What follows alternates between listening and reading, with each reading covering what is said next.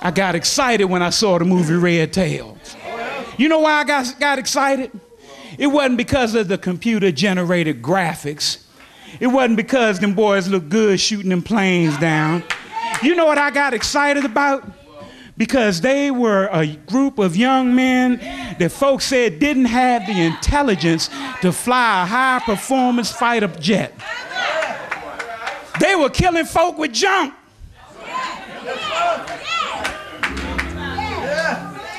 But you know what I got excited about?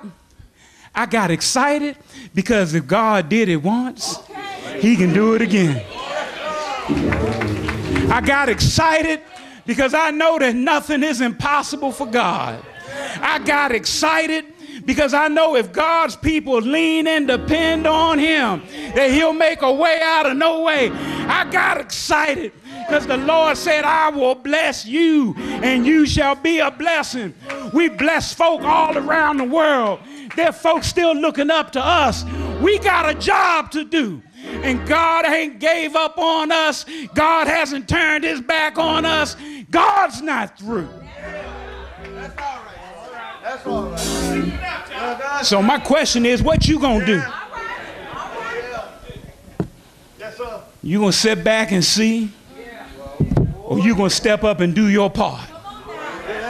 Well, preacher, I can't do what I used to could do. You can pray. You can encourage some young folk. You can tell, you, look, look, look, if, if, if you ain't bold enough to tell them folk in the street, tell them folk in your family that got your name, pull their pants up. If you, if you ain't bold enough to tell folk in the street, tell them young girls in your family to cover the girls up. We got to start somewhere. We have to start by letting our children know that they are marvelously and wondrously made, that God got great stuff in store for them.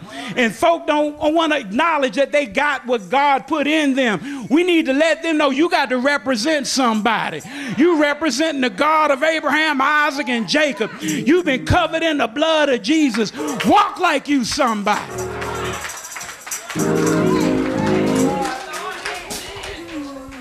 I'm to leave that alone.